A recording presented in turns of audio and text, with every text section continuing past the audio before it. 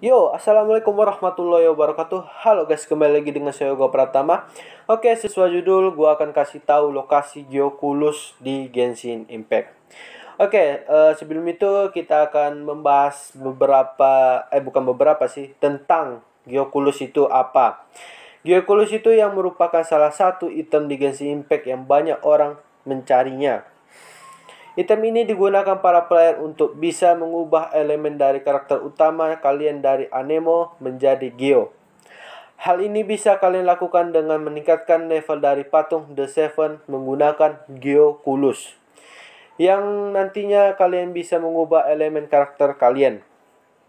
Semakin tinggi level patung, maka semakin banyak juga hadiah yang bisa kalian dapatkan dan geokulus yang kalian butuhkan untuk meningkatkan level patung pun juga semakin banyak.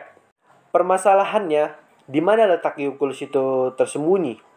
Kan e, geokulus itu tersembunyi di peta ya kan. Tidak sembarang orang bisa mencarinya gitu kan. Ada beberapa lokasi tersembunyi di langit bahkan ada yang tersembunyi di tengah-tengah laut. Untuk itu, kita memperlihatkan kepada kalian lokasi di mana kalian bisa mencari item legendaris yang satu ini yang bernama Geoculus. Oke, lokasi Geoculus. Gua akan kasih mapnya, bukan map sih, lokasinya gitu. Bentar. Bentar, edit, edit. Nah, sudah ada ya. Thanks. Tiba-tiba ada dong. Oke, lanjut. Begitu banyak geokulus yang bisa kalian dapatkan dan semakin jauh lokasinya. Biasanya juga akan semakin sulit tantangan yang akan kalian hadapi. Oleh karena itu, cobalah untuk tingkatkan level dari karakter kalian dan tingkatkan adventure rank kalian terlebih dahulu untuk bisa mengunjungi semua lokasi geokulus ini. Selamat berjuang dan carilah geokulus sebanyak-banyak mungkin agar tingkat patung kalian ya semakin besar ya kan? Dan ya kalian itu jadi jago ya kan? Jadi jago. Ya sekian saja dari gua. Mungkin dua menit ya. Ya itu aja sih kalau gua. Dua menit ya nggak apa-apa gitu kan.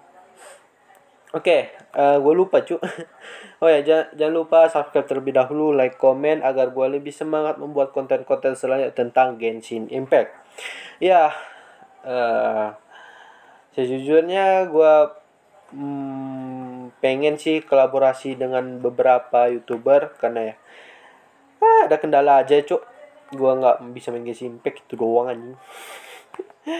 Ya nantikan aja lah ya kan. Nantikan aja.